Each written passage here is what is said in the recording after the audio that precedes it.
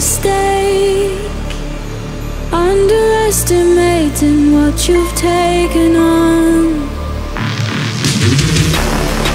I'm out of the cage Cause you opened the door.